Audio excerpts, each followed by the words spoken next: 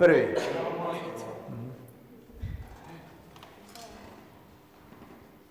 Prije nego što pređemo na fluide, još bih dao jedan zanimljiv primjer relativističkog, apsolutno neelastičnog sraza, da bismo bolje razumjeli odnos između mase i energije.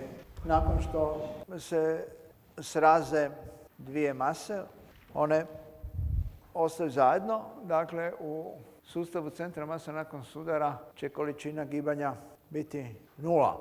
U nekom drugom sustavu zvana ili vezano uz jednu od tih kugala imate jednosti nejednake nule za sva, sve tri količine gibanja. Ako napravimo relativističke transformacije, onima koje smo vidjeli na prošlom satu, onda ćemo dobiti za px3 crtano ovakav izraz, no budući da je px3 kao što smo vidjeli gore jednak nuli, dakle px1 plus px2 su također jednaki nuli i energija, zakon o očuvanju energije od E3 je jednaka E1 plus E2, gdje je onda E1 M0 c kvadrat kroz 1 minus u kvadrat kroz c kvadrat gdje je M0 masa mirovanja svake od te dvije mase prije sudara. Po pretpostavci su one jednake. Tako da dobivamo ovakav izraz za masu M3, dakle za masu oba dva tijela koje su spojila. Prema tome masa mirovanja ovdje ulazi kao M0 kroz drugi korin iz 1 minus u kvadrat kroz c kvadrat, što znači da ćemo na kraju imati masu mirovanja tijela koje je nastalo, koja je veća od mase mirovanja svakog od tijela prije sudara u mirovanju. Kako to možemo objasniti? To znači da su sa ta dva tijela spojena zajedno teža, imaju više atoma. Ne, nego to je ekvivalencija između mase i energije. Dakle, prilikom sudara se mase deformiraju i izračena energija, toplina i fotoni predstavljaju ekvivalent mase. Dakle, E jednako je mc kvadrat, znači da uvijek imamo jedan ekvivalent između energije i mase puta c na kvadrat, što znači da je moguće predstaviti energiju kao masu i obratno. Dakle, masa se može transformirati u energiju, zračenje i to imamo u svakom raspadu kao prisutno, kao mogućnost da kao rezultat dobivamo fotone i zračenje iz mase koje su se sudarile i kod elementarnih čestica. Sad ćemo preći na fluide koji će imati bitno različiti pristup materijalnim točkama. Naime, u mehanici čestica i tijela smo imali obradu materijalnih točaka u prostoru gdje smo promatrali položaje čestica u vremenu i pridjeljivali im određenu brzinu. To je takozvani Lagrangeov pristup, dakle pristup koji je razvio Joseph Louis Comte de Lagrange negdje krajem 18. stoljeća. A fluidi, za razliku od toga, se razlikuju u pristupu koji je razvio Leonard Euler, prilike u isto vrijeme, gdje se čestice fluida promatraju prilikom prolaska kroz određeni volumen prostora, a ne svaka posebno u gibanju kroz prostor. I zbog specifičnosti opisa fluida, tu onda imamo opis čestica fluida uz pomoć pet varijabli, gdje se tri komponente takvog opisa odnose na brzine čestice, a onda još imamo dvije koje mogu biti jedna od sljedeće dvije, dakle ili tlak, odnosno pritisak, ili gustoća, temperatura, entropija, entalpija. To izgleda ovako. Mi smo već vidjeli ranije da se pritisak može definirati kao djelovanje sile na određenu površinu. Dakle, tlak je sila na jediničnu površinu i u slučaju dinamičkog opisa fluida mi ćemo opet koristiti tu definiciju sile na površinu da bismo uveli tlak i promatrati kocku kroz koju fluid prolazi. Dakle, s jedne strane ćemo promatrati silu fluida na facetu ove kocke koja je određena sa DZ-om i DY, a s druge strane tlak na drugu facetu i taj će se tlak onda razlikovati od ovog za neki infinitezimalni iznos koji će biti dan ovim faktorom kojeg možete zamisliti sa ove strane kao jednostavno promjenu iznosa tlaka za infinitezimalni iznos dp i taj iznos dp onda možemo napisati kad pomnožimo i podijelimo to sa delta x, odnosno dx, kao p plus delta p po delta x dx. I sad kad gledamo kolika je sila u smjeru x, mi de facto promatramo razliku sila na te dvije facete koje su međusobno udaljene za dx. Prema tome promatramo razliku između umnoška tlaka i površine koji nam određuje silu po onoj formuli i umnoška promijenjenog tlaka i površine ove facete. Površine su jednake, to dakle možemo napisati u ovom obliku gdje dx, dy, dz prepoznajemo kao dv. Dakle, f od x ima ovakav oblik. U y smjeru dobivamo isti oblik uz samo derivaciju po y umjesto po x i isto tako u z smjeru. Drugim riječima mi opet vidimo da se pojavljuje naša nabla, odnosno gradijent ovdje i prepoznajemo ovu unutarnju silu u fluidu kao konzervativnu, dakle danu pomoću gradijenta od tlaka. No, bilo bi nepraktično promatrati konkretne mase u gibanju i zato uvodimo silu na jedinicu mase kao mali f. f je onda realna sila kroz masu, da se riješimo mase u promatranju, onda ćemo umjesto masa uvijek kod promatranja fluida imati gustoću i na taj način možemo silu napisati na ovakav način gdje smo uveli infinitezimalnu masu koja će odgovarati infinitezimalnom volumenu u ovom izrazu. Dakle, ono što ćemo dobiti, to je ovakav izraz. Dakle, naša sila će imati ovakav oblik i to će biti unutarnja sila. I sad na fluid izvana mogu djelovati vanjske sile, na primjer gravitacijska, koja je također konzervativna i prema tome takva jedna vanjska sila će se opet opisivati uz pomoć gradijenta, nable. Gravitacijska sila kao primjer je onda ovdje dana sa izrazom F jednako mg i u Eulerovom pristupu to onda znači da je mali f, to je sila na jedinicu, na jedinicu mase, jednaka minus nabla od fi gdje je fi potencijal koji je dan kao g puta z. Dakle, ako je f jednako mg, onda znači da će sila na jedinicu mase biti upravo g i ako je g minus gk, onda je fi gz. Dakle, ravnotežna statička jednadžba će izgledati ovako, što znači da ćemo mi moći u ovom izrazu pod pretpostavkom da je ro konstantno. Dakle, ako je ro konstanta, onda to možemo napisati ovako. To jest uvući ro pod nablu.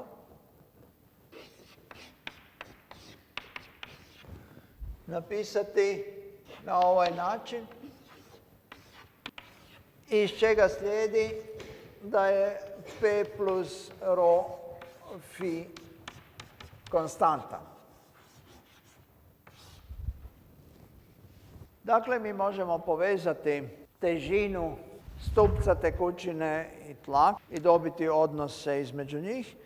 No prije toga možemo još ilustrirati iznos tlaka uz pomoć ove jednadžbe, dakle P je F kroz S, po definiciji, kao primjer hidrauličke dizalice, odnosno bilo kakvog hidrauličkog stroja gdje se zahvaljujući različitim površinama može povećavati sila djelovanja na predmete koje, na primjer, hoćemo podići. S obzirom na to da je tlak unutar ovog fluida uvijek jednak P. P će s jedne strane po definiciji biti F1 kroz S1, a s druge strane F2 kroz S2. I ako je sada S2 10 puta veće od S1, onda to znači da će i F2 biti 10 puta veće od F1. Drugim riječima, da ćemo mi moći podići 10 puta veću težinu nego direktno bez ovakvog uređaja. I sada da bismo ilustrirali ovu jednadžbu, mi ćemo promatrati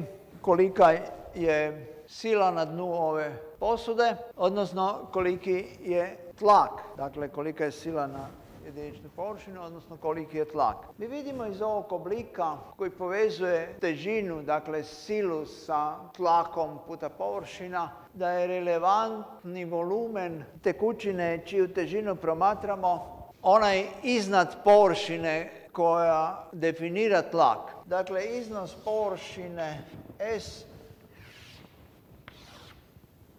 određuje stupac tekućine koja će definirati tlak preko sile koja iznosi m puta g. I to ovdje znači da je tlak ρ puta g puta h i kad promatramo ukupni tlak na dnu posude, to znači da će ukupan tlak biti atmosferski tlak izvan posude, jer ovdje svuda okolo je atmosferski tlak PA, plus tlak koji odgovara težini stupca tekućine iznad površine S. To ujedno znači da imamo takozvani hidrostatski paradoks, to jest da je potpuno neovisno kolika količina tekućine će biti iznad određenog presjeka za iznos tlaka na dnu i za iznos sile na jednaku površinu na dnu. Drugim riječima, ako promatramo ove dvije površine ovdje i zamislimo klapne koje se otvaraju na pritisak tekućine s pomoć nekog federa, neke opruge, onda će i u ovom i u ovom slučaju ta klapna popustiti u istom trenutku kad budemo doljevali tekućinu da, tako da ima jednak nivo gore. I sad kad pogledamo te iste posude spojene međusobno jednim horizontalnim spojem, onda nam je jasno i zašto je to tako po spojenim posudama. Mi to možemo ilustrirati jednim eksperimentom sa spojenim posudama u obliku slova U, koji se sastoji od dvije komponente u toj posudi. Ovo je modra galica, dakle esencijalno voda po gustoći. I kao što vidimo u oba kraka će modra galica, to je voda biti na jednakoj razini. I ako mi sada u drugi krak nalijemo tekućinu druge gustoće, u ovom slučaju alkohol,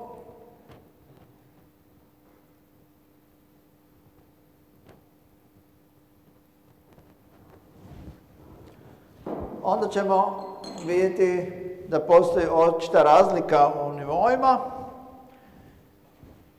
I to možemo razumjeti iz naše definicije tlaka preko težine stupca vode. I ujedno time dobivamo mogućnost da odredimo gustoću druge tekućine mjerenjem razlike nivoa do kojih se uspostavila ravnoteža u ova dva kraka. Sljedeći primjer je takozvani Toričelijev barometar gdje mi mjerimo atmosferski tlak stupcem tekućine. Dakle, mi direktno koristimo ovu formulu s tim da je na jednoj strani onda isključivo atmosferski tlak, a nema stupca žive, to je recimo u ovom nivou ovdje. Dakle, P plus 0 je jednako konstanti koja je na tom istom nivou unutar epruvete jednaka nula, budući da se radi o vakumu, plus rho H. Dakle, P je direktno rho H i to je onda Toričelijev barometar. Mi ujedno imamo jedinice za tu varijablu u mehanici fluida, dakle za tlak, to je 1 paskal koji je jednak jednom njutnu po metru kvadratnom, no postoji i nestandardna jedinica koja se zove jedna standardna atmosfera. Dakle, to je jedinica koja je izvan SI sustava. I ta standardna atmosfera, dakle, otprilike jednaka tlaku oko nas, atmosferskom, je otprilike 10 na 5 paskala. I sada, kada biste umjesto žive koristili vodu, na primjer, zamislite jedan škaf pun vode, u njega stavite plastičnu cijev koja je na jednom kraju zatvorena, tako da se napuni vodom ta cijev, nakon toga zatvorite jedan kraj i onda dižete taj kraj hodajući u stepenice.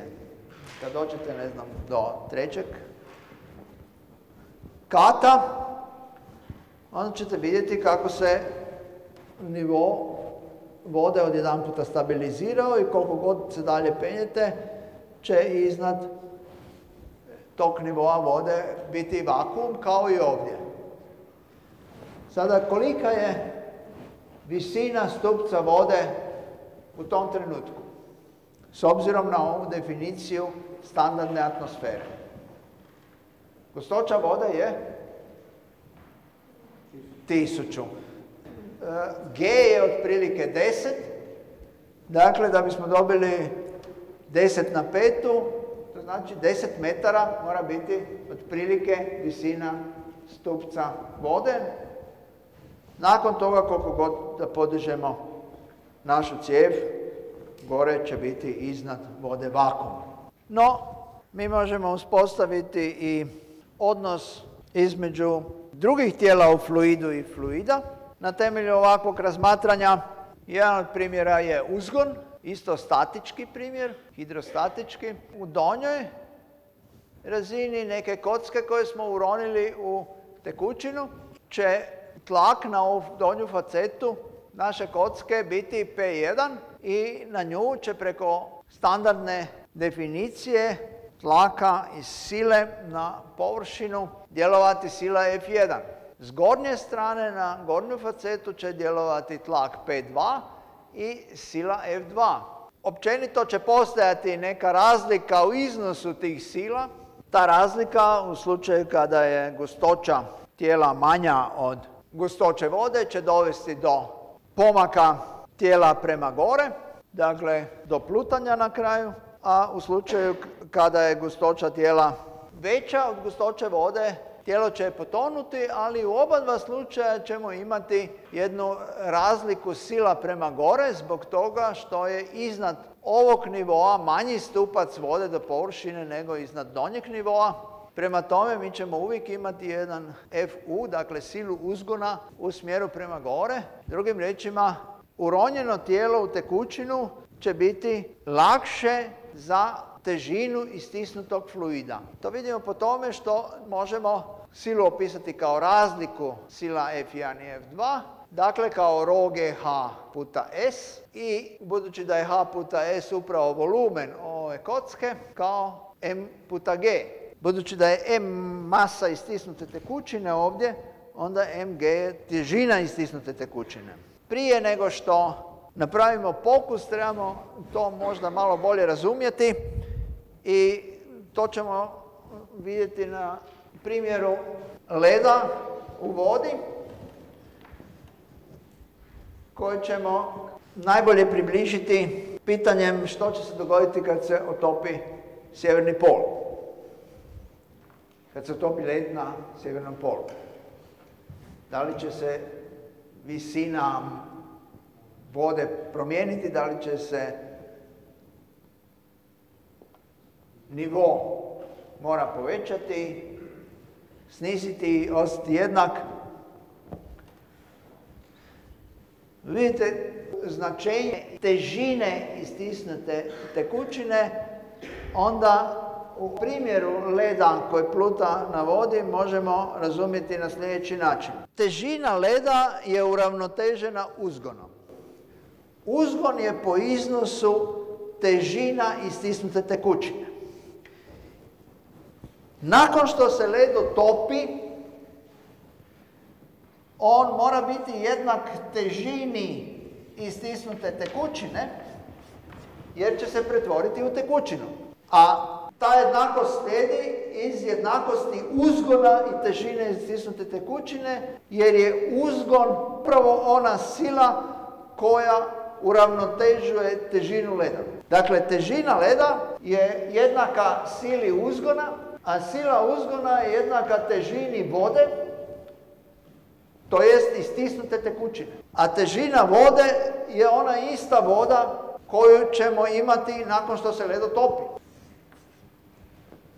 Dakle, istisnuta voda i otopljena voda su jedna te ista stvar. Prema tome ništa se neće dogoditi. Sve to možemo ilustrirati na sljedeći način. Ima jednu domišljatu vagu gdje uronjeno tijelo istiskuje tekućinu koja prelazi na drugu stranu. Prije uranjanja su ove dvije posude bile uravnotežene. Tako je to uštimano. Nakon uranjanja su opet u ravnotežnom položaju. Zašto? Pa po zakonu akcije i reakcije je sila koja djeluje na ovu stranu zbog uranjanja našeg utega upravo jednaka težini istisnute tekućine. Dakle, ako to prebacimo na drugu stranu, bit će uspostavljena ravnoteža. To je na drugi način izvedeno ovdje. Ovdje je mjerena težina našeg utega dinamometrom i kada uteg spustimo u vodu, po zakonu akcije i reakcije, nakon uranjanja tijela, će se pojaviti sila u smjeru prema dolje koja će odgovarati uzgonu prema gore koji čini ovo tijelo lakšim. I sada ako sa ove strane dodamo utege koji upravo odgovaraju sili uzgona, odnosno masi istisnute tekućine, onda ćemo postići ravnotežu. Sad ako usporedimo ove dvije težine, onda možemo vidjeti, ako izvršimo preciznija mjerenja, da se one podudaraju. I to je onda ekvivalent onom puno elegantnijem dokazu jednakosti sile uzgona i težine istisnute tekućine. To možemo vidjeti na još jednom primjeru. Dakle, fluid koji je svuda oko nas je zrak. I u tom zraku također postoji uzgon kojeg možemo vidjeti na sljedeći način.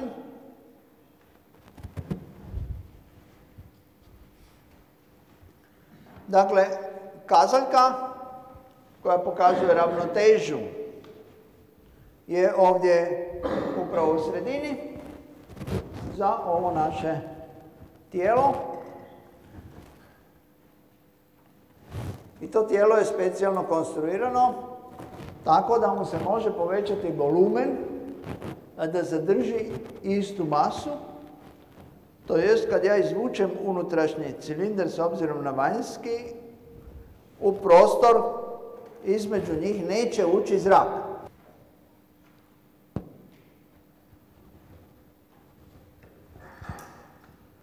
Dakle, volumen se povećao, masa je ostala jednaka. I sad, ako pogledamo kazaljku, vidimo da se kazaljka pomaknula na desno. I to znači da je ovo tijelo sad lakše.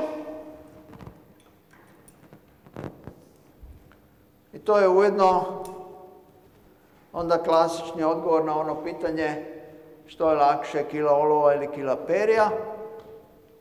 Na zemlji u atmosferi je lakša kila perija. Možete sada čuti zvuk zraka koji je ušao u ovaj cilindar. Dakle, kila perija će zauzimati veći volumen, imat će veći uzgon. Na mjesecu će naravno biti jednako lagana kila perija kao i kila olova. I sad ćemo promatrati naše čestice fluida u gibanju, što znači da ćemo promatrati čestice fluida u gibanju kroz elementarni volumen i prema tome nećemo više promatrati sile nego brzine kroz taj volumen i te brzine se onda mijenjaju prilikom prolaska fluida kroz dvije točke, što znači da će imati porast ili smanjenje iznosa na jednoj s obzirom na drugu facetu, može se ubrzavati i usporavati. To će ovisiti o presjeku, recimo ako se smanji presjek cijevi, onda će se čestice fluida na tom mjestu ubrzavati, ako se poveća, onda usporavati. I mi sad možemo vidjeti da se brzina u točki 2 može napisati uz pomoć brzine u točki 1 na ovakav način i onda odmah vidimo da će razlika između ove brzine i ove brzine biti jednostavno diferencijal. Ali Ovdje ćemo imati ovisnost o sve četiri varijable, x, y, z i t. Dakle, po definiciji derivacije možemo derivaciju brzine napisati kao razliku ovog iznosa u točki P2 i ovog iznosa u točki P1 i ono što će nam ostati, to će biti ovakav izraz sa desne strane. Dakle, dobit ćemo na kraju izraz kojeg ćemo moći prepoznati kao V in nabla koji djeluje na V. Dakle, ovdje vidite ovaj izraz djeluje na vektor i više to nije ona čista nabla koju smo imali prije jer je prethodno množena sa V. Dakle, nestalo je iz tog izraza usmjerenje uz i, i k.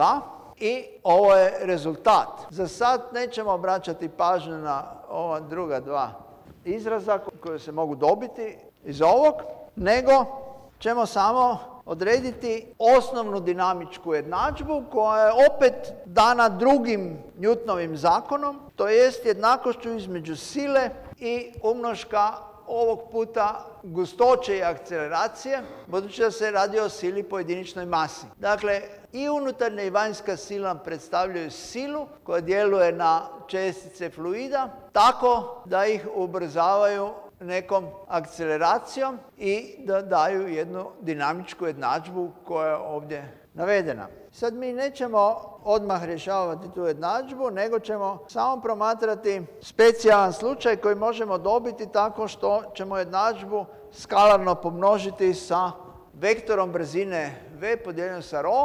Dakle, dobit ćemo ovakvu jednadžbu koja će onda uzduž strujnica koje ćemo definirati sljedeći puta imati ovakav izraz. To znači da ćemo za slučaj kada se iznos brzine neće mijenjati u vremenu, ali se može mijenjati u prostoru, u x, y smjeru, imati konstantni, imati konstantnu sumu tlaka, kinetičke energije, čestica plina i sile po jediničnom volumenu koja odgovara tlaku stupca e, tekućine, odnosno fluida, na primjer, u gravitacijskom polju. Primjer za ovu jednadžbu je, na primjer, tlak koji možemo postići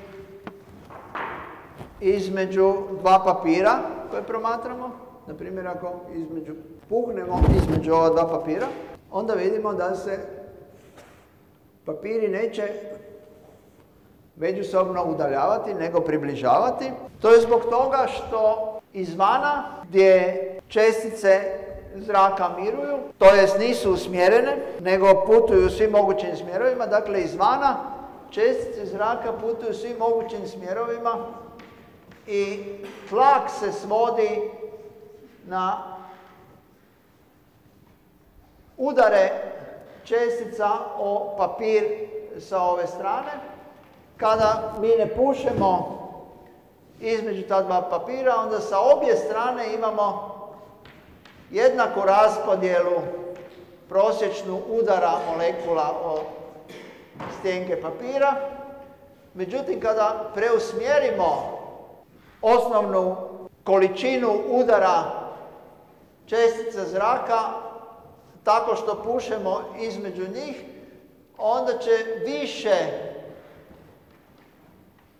pomaka čestica zraka biti u smjeru paralelnom sa papirima, a manje u smjeru okomitim na papire, dok će sa druge strane ostati i dalje jednaka prosječna količina udara o papir, što znači da će tlak izvana biti veći od tlaka iznutra.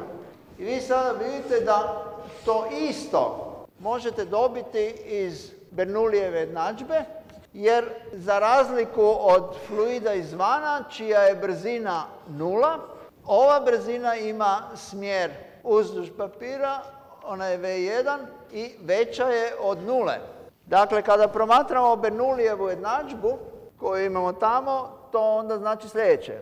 P0 plus kinetička energija koja odgovara česticama izvana, dakle prosječnoj brzini nula, jednaka je P1 plus rho V1 na kvadrat kroz 2. Očito P1 mora biti manji od P0, zbog toga jer je ovo uvijek veće od nule. Dakle, iz Bernoullijeve jednadžbe dobivamo ono što možemo molekularnim zaključivanjem dobiti za ovakve čestice zraka. I sad ćemo izvesti još jedan pokus za kraj koji će se sastaviti u sljedećem. U struju zraka ćemo staviti jednu lopticu. Oko loptice će dakle strujati zrak. I sada, ako loptica u nekom trenutku nastoji izaći iz te struje,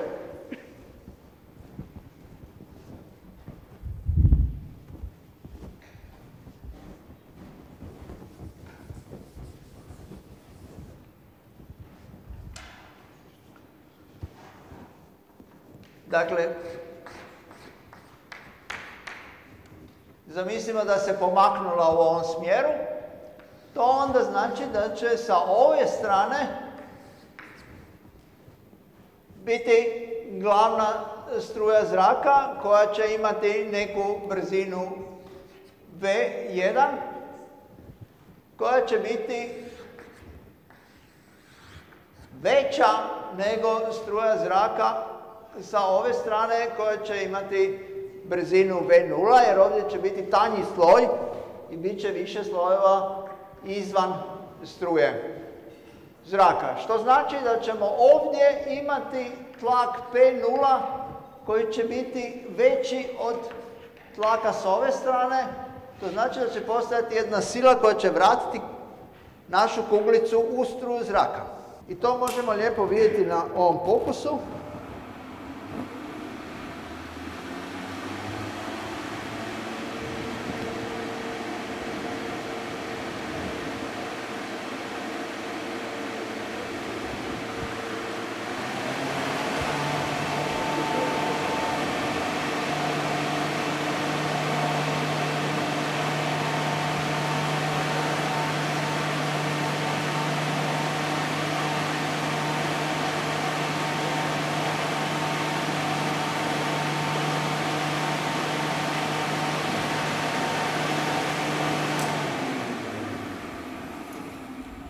Gdje vidimo da čak i kad nagnemo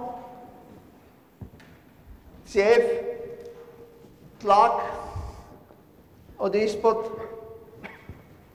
će biti dovoljno velik da stalno vraća kuglicu u struju zraka i da ona lebdi u tom položaju. Hvala.